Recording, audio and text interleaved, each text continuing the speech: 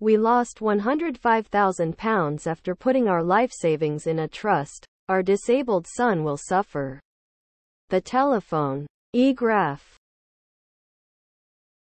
When Kathleen Bertley wandered into her local Building Society branch 10 years ago to renew her pass book, she wasn't expecting to walk out with a noose around her life savings.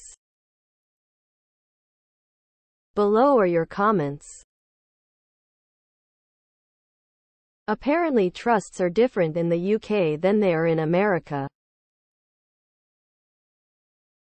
In American, a trust is a legal document that instructs the trustee s how to distribute the property and assets after a person dies.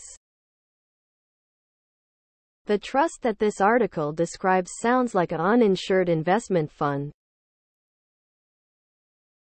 Rather standard scam. Why people put their money in one pot based on words from someone they never knew escapes me.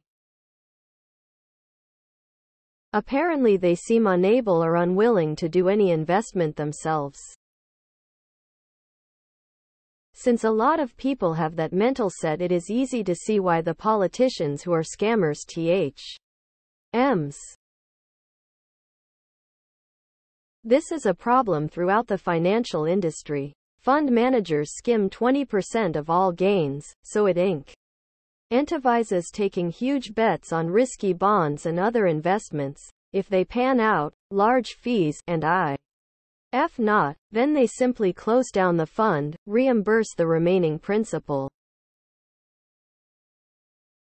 Don't trust anyone, especially family. Do your research. If it seemed too good to be true, it most likely isn't.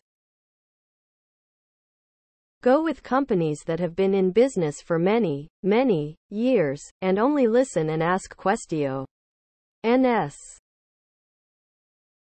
I know people who run to their so-called financial advisor all the time.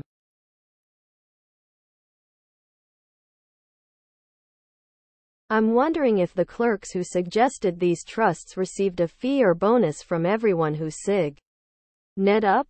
I don't know how it works in Britain but I would say that a fiduciary responsibility was violated by the Building Society. Please subscribe to my channel. And if you like it, please thumbs up.